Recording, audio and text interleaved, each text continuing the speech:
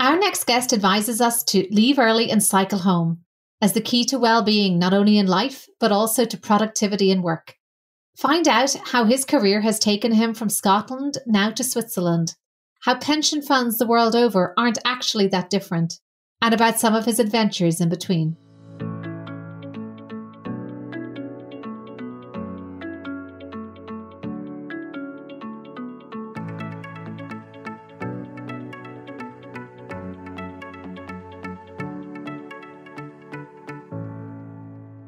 Aoifinn Devitt, and welcome to the 50 Faces podcast, a podcast committed to revealing the richness and diversity of the world of investment by focusing on its people and their stories. I'm joined today by Doug Heron, who's Chief Executive Officer at CERN Pension Fund, based in Geneva. He was formerly Chief Executive Officer of Lothian Pension Fund, and prior to that, held a number of finance industry roles throughout banking and asset management. He's a trustee director of the NatWest Group Pension Fund. Welcome, Doug. Thanks for joining me today. Hello, Aoifinn. It's a pleasure to be invited to talk with you today. I'm a big fan of the series, as you know, and really love the angles that you're taking with it. So, yeah, a, a great pleasure, and thank you again for inviting me. Absolutely, our pleasure. Well, let's start with your journey into the world of investing. Where did you grow up? What did you study? And how did your investment career start? I grew up in a town, as you might be able to tell from my accent, just outside of Glasgow in Scotland. My journey into professional life was what you might call a conventional one. I developed an interest in maths and economics through school. And as a sort of natural progression of that, I went on to matriculate for undergraduate honours degree in accountancy and finance. That was in the 90s. It seems like a long time ago when I say it now. And I was fortunate enough to be one of the final tranches of students to enter university before the Labour government introduced student fees in 1998. So that was one hurdle that I didn't have to overcome, but so many do now. My first graduate job was on a training programme with an international life and insurance firm in the southwest of England. Back then, you applied for jobs by completing paper applications and posting them all in by a certain date in what was called the milk round. I think I applied to training programs of 30 or so firms, went to something like 10 assessment centres all around the country, and opted for the firm that I thought demonstrated the strongest commitment to training.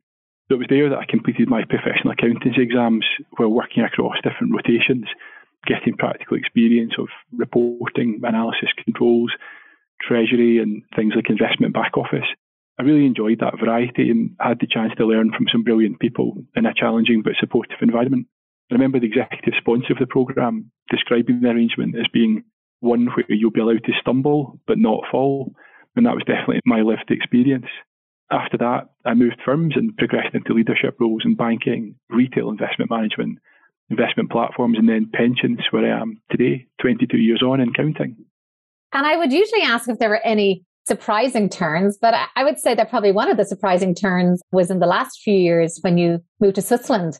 Can you talk a little bit about your decision process in that and how the experience has been? That's right. I think you would call that a bit of a twist. We're now in spring here in Geneva. So just a summer season to go, and we'll have completed our first full year in, in Switzerland as a family. The opportunity, it was a surprise. I was invited to come and take on the role here, but it just came at, at the right time for us. And so far, we're making the most of it through learning French, skiing, and, and making new friendships.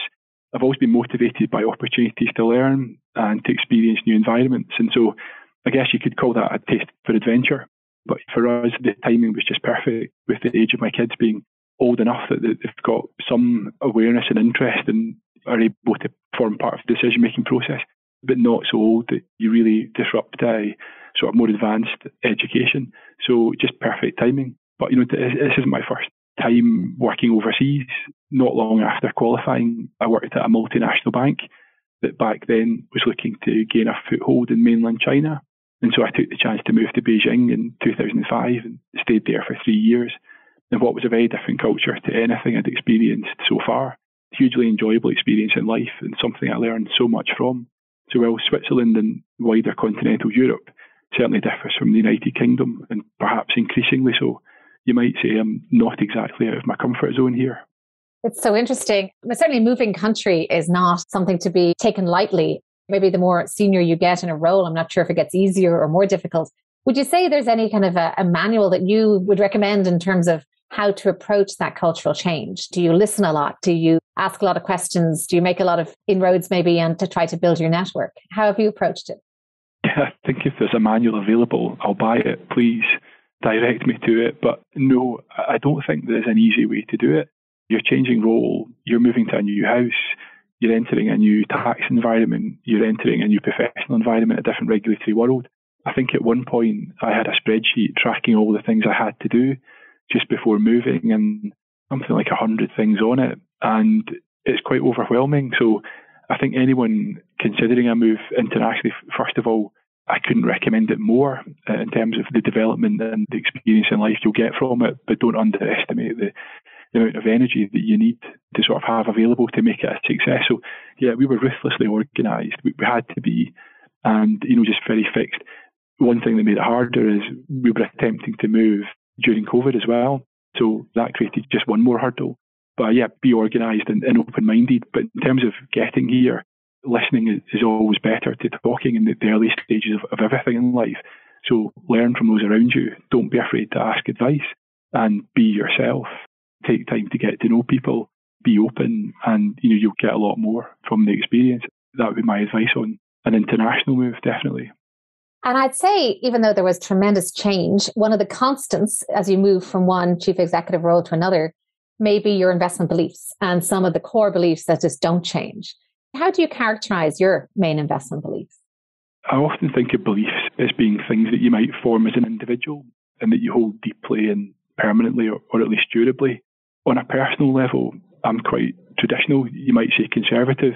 And when it comes to investments, I always seek first to understand where cash is being generated or where it will be generated, then look at the risks attached to that cash flow, and then ask myself whether the price for exposure to that expected cash flow is suitable for me. So if you like categorizing things, then I think that would probably label me as, a classic value investor. And maybe I'd add to that, I've got preference for firms that are committed to growing dividends, not just a full reinvestment. So that belief or categorization means I probably wouldn't have had a good few years against benchmarks that have been heavily dominated by growth factors. And right now, if I was a classic value investor, I'd be asking myself some pretty deep questions about what value, price, and equity risk premiums really mean at the moment. There's quite a lot going on in the outside world, and many are struggling to get a real read on some of the signals. But yeah, on a personal level, I would say I'm a classic value investor. But I would stress a separation between personal and professional. When it comes to professional investment, and certainly for the role of a CEO of a pension fund, you almost have to park your own beliefs and, and detach away from whatever natural mindset that you have. And instead, you have to work within a framework, multiple stakeholders, lots of advisors and research, typically quite tight funding tramlines, and then volatility or risk constraints. So you work all of that into an asset study and an asset allocation, and then you design an implementation of that that balances risk, return, and cash flow, and you execute it, analyze those results on short and long term horizons, and then feed the results back in at the top level, and just keep repeating that process. Never too often and never too long a duration either. So that for me is you have investment beliefs, but in a pension fund, you really just have to fit into a process and a model. And you personally, I find it all hugely fascinating. And translating that now, the kind of overarching beliefs into your day to day at the helm of CERN, what's at the forefront of your mind now? And how similar or different are those issues to what you face at the helm of Lothian Pension Scheme? I think the team here are probably tired of hearing me say it's just pension funds. There's nothing different in the CERN pension fund to any other pension fund. And I really mean that. But to begin on this, to most people, CERN is one of the world's most profound international organisations. And right now I'm sitting just a few feet away from the Large Hadron Collider, which is the product of a collaboration of 23 member state governments, each contributed resource, funds, and political backing on quite a massive scale to secure powerful scientific insight that's changing the way we view the world. But at the forefront of my mind in the pension fund is making sure that we play our part by providing secure retirement incomes for all those people who have powered the organisation throughout its history. Unlike corporations and private sector defined benefit pension funds, employees of international organisations typically have no state pension to fall back on. So the pension from CERN is even more vital. So that kind of brings me to my number one priority. And to be honest, all other priorities are subordinate to this. The key focus is simply making sure that we pay and continue to be able to pay those pensions when they fall due. That was exactly the same as life in the LGPS, but with a different context, a different funding model. And here, my operations are on a more international scale, but very similar in terms of the themes of what work we do day in, day out. And sometimes the context can inform your focus. Maybe in the local government, stakeholder activism, a pressure can inform maybe the direction of an investment portfolio and its responsible investment policy.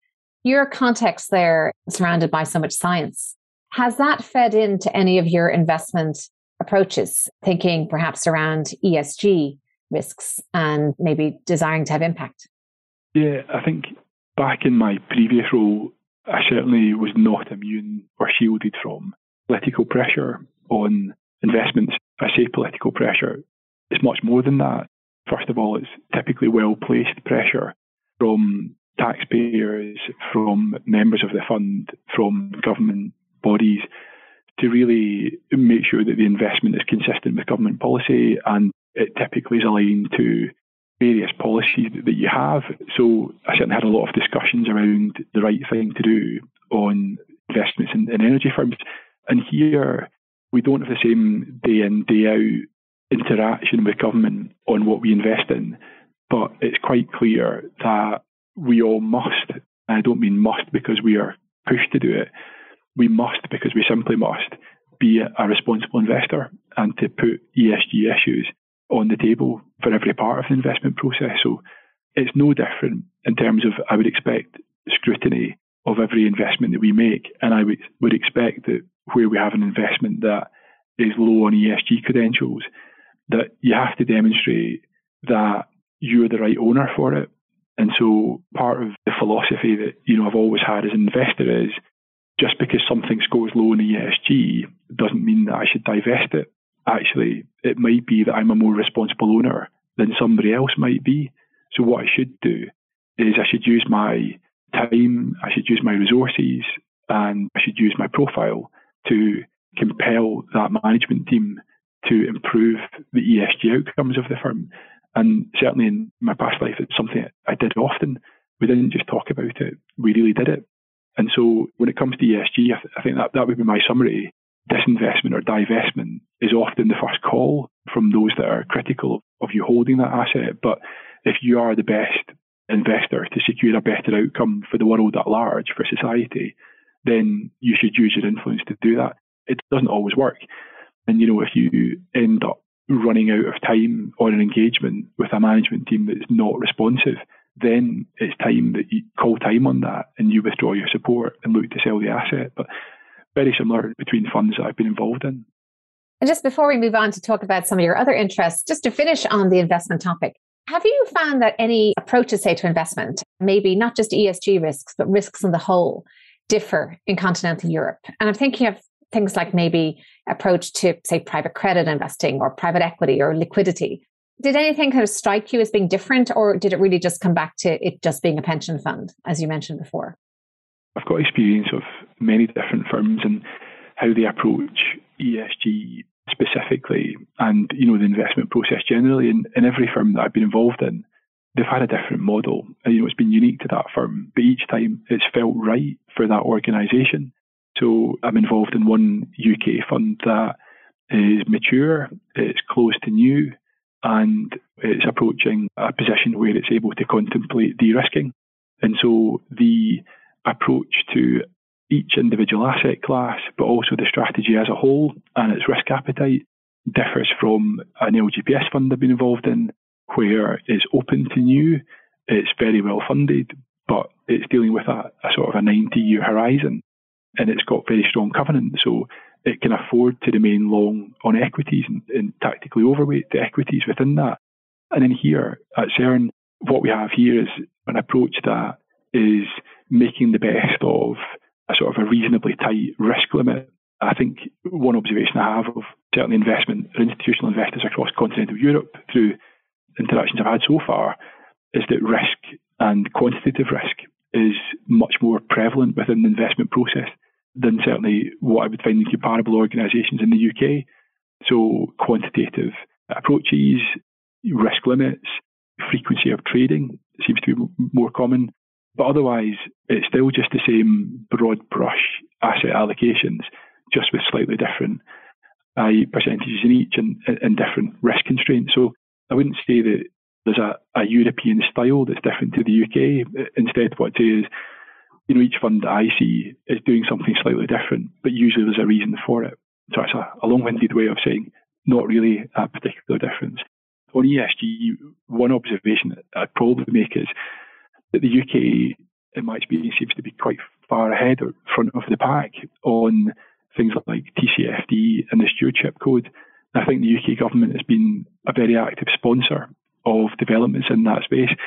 I won't always have thought when new regulations appeared that I wouldn't have been pleased because uh, typically they've involved quite a lot of work in the past. But in continental Europe, I don't see governments being quite as active yet, but it's coming and we're all heading in the same place and we're all going to arrive at the same destination, which is much more focus on active responsible ownership, clear policies on climate risks, quantitative and qualitative disclosures on assets and actions. And on the risk front, ESG will always have to be part of, of a risk process. And I think we're all heading to exactly the same place. That's certainly reassuring for anybody who might consider taking a position abroad that some of their principles will still apply. I want to move on to talk about some of your other interests because they are quite extensive. I know that they include coaching football or soccer for our American listeners and animal welfare via the Royal Zoological Society of Scotland. Can you comment on any of these and maybe how they inform your approach professionally? Yeah, that's right. I think I'm very fortunate that some of my professional experience has opened the door to some exciting voluntary and non executive opportunities. And a, a, few years ago, I was honoured to be asked to support the work of the Royal Zoological Society of Scotland at, an exciting time. There was the, the arrival of a, a, sort of a very famous polar bear cub at the time, and I need to sort of invest quite heavily in infrastructure around one of the sites. But I really enjoyed that. But I think far from being time that I've volunteered or given up, I've actually come to think of it more as time that I've invested. I've learned a huge amount from my work with RZSS in terms of animal conservation, but also even charity governance and, and the risks in various financial models based on grants. So I don't know if I, you'd be familiar with banking concepts such as uh, investment concepts such as ICAP, but you know ICAP is effectively regulations that, that protect against investment firm failure. It prescribes how you go about measuring and allocating the firm's financial resources as a buffer against losses. And it includes provisions such as orderly shutdown. So you've got to have a, a sort of a plan for how you would shut down a financial services firm so that it didn't cause any detriment to wider, I think it says, systemic stability or, or it couldn't impact the wider financial system. So, so anyway, uh, that's a long way of saying there's regulations in the financial services world that go into setting out the need for this wind down plan. But would you believe that there's also regulations in the animal conservation sector as well that are pretty much exactly the same? Firm uh, zoos, I say firms, I mean zoos, have to have ring fence capital and orderly shutdown plans so that there's no detriment cost to the organisation, including the animals that, that are being, being conserved. So, a long way of saying it's not a single dimension of I've volunteered time, it's actually I've invested time and, and learned a great deal from it. I still bring out some of these things in, in my professional work as well It's hugely enjoying that. And of course, coaching a team. On, on the other aspect of your interests is, uh, I'm sure, a great skill when it comes to an investment team and managing a team within the investment context. Coaching football is something that you know I originally got into through my kids, and a group of dads were talking one night about how we'd all enjoyed youth sports, and it was not ideal that we didn't have a local football team, and so we decided to create one. And so, thanks to I think one or two individuals, we created an entire new football club, which is there's a lot goes into it. you know, even critical decisions like what colour should the strips be that uh, I think led to some ferocious debates among the coaches. But we got a club off the ground within about eight months. I think we raised something like £12,000 of, of sponsorship funds. And at one point within the first year, on a single evening, we had something like 90 kids under 10 all playing in a training session at the same time, which was just really, really rewarding. But I enjoy that. I think a bit like you know managing in a professional setting as well. You have to encourage quite a lot.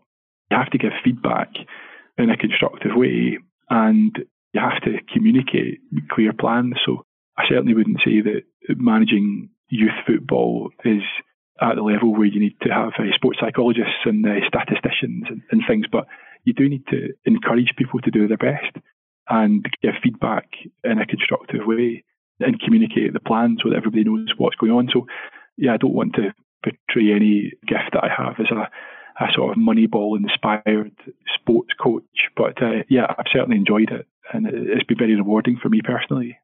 Well, certainly massive respect I have anyway for all the youth coaches. It's not something I probably would have the patience for, but essential parts of the youth infrastructure. And another area you've been very supportive of has been for more diversity in the investment industry in particular and around financial literacy as a whole. And what's your current thought on the state of the industry, maybe, and, and what more needs to be done? When I think about this, my overall sort of rating would be good, but nowhere near good enough. That's certainly my assessment so far, but I do like the direction of travel. When I compare the industry that I joined, it's certainly very different to what I see in front of me now, and I'm pleased about that. At CERN, 100% of my senior team are female, and our 27 colleagues that make up the pension fund are from 14 different nationalities, and together we speak, unfortunately, often in the same meeting, 10 different languages that's not diversity for appearance sake or because someone's told us that we need to do it. It's diversity that brings new ideas. It challenges the status quo and it ensures that we keep an open mind and broad perspective. So, with diversity, I don't think it's just the right thing to do. I do think it's the right thing to do, but not just that. It's the best thing to do. I've worked closely with some great organisations who I think are really shifting mindsets just one that I, you know, sponsored through, you know, my previous pension fund is Future Asset. That's an organisation that is helping schoolgirls or school age girls to see and imagine a future in the asset management sector. And, you know, I feel confident when I say that, you know, if my nine year old daughter should ever choose to join this sector, then she'd join it in a much better shape in, in every respect than when I did. And I, I think that's a great thing with Future Asset, we, I think, had five single day workshops with school age girls. And we were able to talk to them about what we do. But it's not just a bit like, you know, my volunteering time. It's not giving up time for a greater good. You actually get so much out of it as well because we got some great questions. And Future Asset is an organisation I think is, is doing great work, as I should say, are you. And just highlighting positive examples of progress that we're making in, in diversity. So, uh, yeah, good, but nowhere good enough. Is what I would say on that front. Well, that's very kind of you to say. And certainly, I do know Helen Bradley and Future Asset and follow their activities and competitions on LinkedIn. And it is a fantastic organization, which, if we could replicate that and their energy many times over across all of our economies, we'd be doing well. Let's just move back to some personal reflections now and look at maybe over the course of your career. We've talked about your sense of adventure. Have there been any setbacks or challenges that you've learned lessons from that you can share? Certainly have been. I think I would be honest enough to say that I reflect often on things that I could have done better. And I think the older you get and the more experience you have, you look back and realise that approaches you, you've had in the past could have been better. And I think it's that reflection that, that helps you to keep developing. So I'm a big fan of journaling.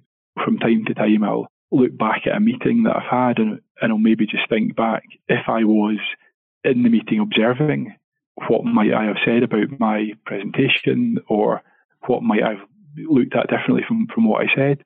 And so you try not to be too harsh a critic of yourself, But you do look at that, and you know, I worked at a firm in the platform space where we just had this really healthy approach to admitting when we were making mistakes. So maybe in traditional organizations, if you spend the budget and you're almost there with something, you never stop. You complete the journey. You don't write off the investment. And then you end up living with something that isn't perfect. But the platform that I worked with, if at any stage, no matter how much we'd spent, we felt that we weren't going to be happy with what we were going to get, or that time had moved on, or the client no longer wanted what we were building, you just quite freely wrote off the investment. So, you know, you called an end to it, you wrapped it up, you would do some notes and you would maybe preserve it for later life, but you wouldn't ever beat yourself up just because you'd spent money on something. And I think as a philosophy that that's really healthy. So yeah, I've made lots of professional mistakes and within that there's lots of things that, that I could have done better, but maybe keeping relevant to investments. There's one lesson I've learned at a personal level about investments, and that's to never invest based on your own consumer experience. Whoever you are, you aren't representative of the entire market, and your experience as a consumer is no guarantee that others will feel the same or that such consumer experience will translate into a successful investment. So, if I expand on that, I invested in something and I doubled down on initial losses a few years ago, absolutely convinced in my mind that because of my brilliant consumer experience, that the market was just wrong and there would be a correction and the firm that I'd backed would go on to be really successful. Anyway, I ended up licking my wounds after several years of hope and disappointment, but having learned a vital lesson. So, however you invest, I would say invest on data, invest on research, and on risk analysis. But whatever you do, don't be caught up in your own consumer bias. But anyway, I'm not going to tell you what that investment was. we won't press on that. But that's really interesting. Actually, that is a remarkable humility because often we, we tend to think that our, our experience is representative, but I suppose it's just a reminder that one anecdote does not equal data and to perhaps step back. I love that looking at any key people maybe in your career, was there anyone maybe that had a particular influence on you that you can mention? I've been fortunate enough to work with many great people in my career and, and, and to work in some great organisations. I try to be influenced a little by many great people rather than attempt to impersonate any one person, no matter how great they are. So I think if you spend a lot of time trying to be someone else, you know, in any setting, you're ultimately going to fail or you're going to lose the things about you that are unique and brilliant. So I observe people closely and I often informally label people as being role models and just try to learn from them, but lots of little subtle influences rather than any sort of attempt to mold myself on someone else. But a major influence in me in, in the past was just a friend that encouraged me to take on an international role and I think persuaded me of the benefits of international experience. So, and that led to me heading off at quite a young age to China. And I learned a, a great deal about the world and, and myself in those three years. Travelled widely. I learned part of a new language. Uh, I certainly wouldn't say I learned a lot of a new language, but learned a huge amount about how different organisations behave in China at the time. A lot of organisations were not focused on profit but actually they had alternative KPIs, very different KPIs. And so the way those organisations were run was very different. So it's not to say that you sort of take a Western mindset and you try to impose that on the rest of the world, but actually you sometimes just step back and say, maybe actually there's another way. And, you know, I try to do that a lot, but a lot of that's just due to, you know, a friend that really persuaded me that international time, no matter how much of a, How daunting it seemed, would be a good thing. So, yeah, that's influence. Yeah, it sounds like I think I'd probably be always that friend. I'm always encouraging people to take risks, especially when it comes to travel, because I'm passionate about that myself. You've given us already lots of words of wisdom, certainly around investing and team management, etc. Is there any creed or motto that you live by, or any particular word of wisdom that has stuck with you? I think uh, for me, I try to, and I would say that some people might say I'm obsessed, but I try to focus on eliminating waste and keeping things simple wherever I am. I don't like clutter. I despise inefficiency and indirect processes, particularly where they affect members, as we would say, in, in our beneficiaries in the pension fund world. And I absolutely hate having to read anything twice because it isn't clear. So if you walk by weak controls, inefficient processes that don't serve members or beneficiaries in a pension fund context, and you ignore or overlook confusing or unclear policies, then you're essentially leaving a problem for someone else to fix. So I tackle all of those things as much as I can, and usually as soon as I see them. But unfortunately, it's often to the point of distraction. So, creed or motto, I think for me, it's keep things simple and eliminate waste and make processes as direct and efficient as you can. And that's something that I do.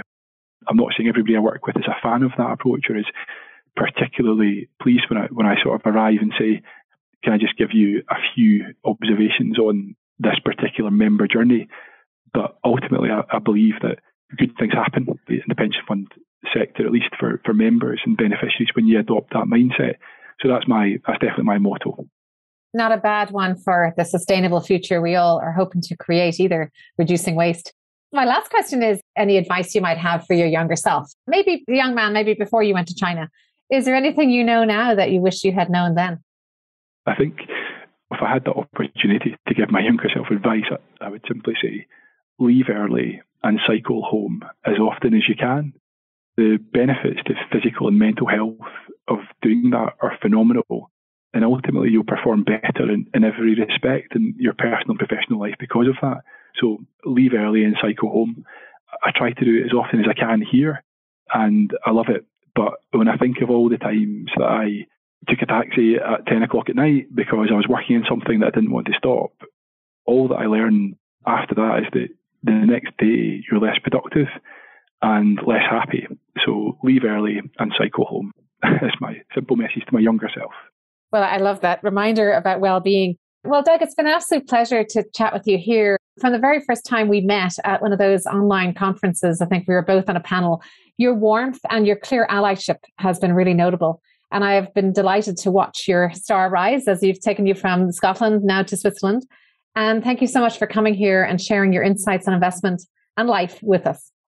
Absolute pleasure. And thank you again and uh, keep up the great work. I'm Aoifinn Devitt. Thank you for listening to the 50 Faces podcast. If you liked what you heard and would like to tune in to hear more inspiring investors and their personal journeys, please subscribe on Apple Podcasts or wherever you get your podcasts. This podcast is for informational purposes only and should not be construed as investment advice, and all views are personal and should not be attributed to the organisations and affiliations of the host or any guest.